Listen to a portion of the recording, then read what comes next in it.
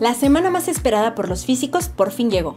Nuestro destino era la Benemérita Universidad Autónoma de Puebla, la cual nos abrió sus puertas para recibir a cientos de estudiantes, académicos e investigadores con un mismo interés, indagar el mundo a través de la lente de la física. El Congreso Nacional de Física daba inicio.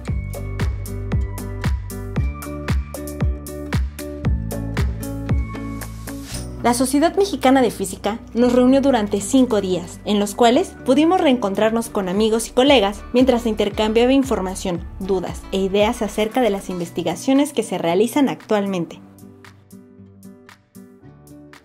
Algunos de los mejores investigadores del mundo nos maravillaron con temas de frontera de la física actual, conferencias llenas de datos, información, humor y anécdotas sobre el universo.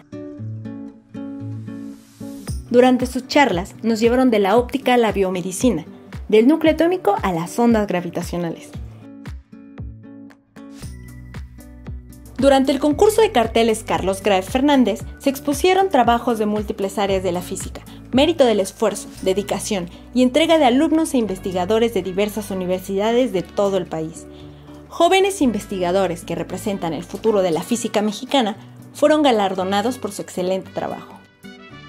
A la par, el Encuentro Nacional de Divulgación Científica superaba toda expectativa, recibiendo a lo largo de toda la semana a miles de personas.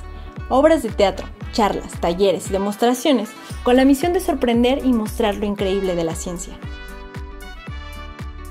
En sesiones especiales se abordaron temas de interés específico. El programa Mujeres en la Ciencia nos mostró un panorama actual y las perspectivas sobre el estado de las mujeres en la actividad científica, mientras que en el taller de innovación aprendimos de alternativas para lograr que la investigación se realice de la mejor manera.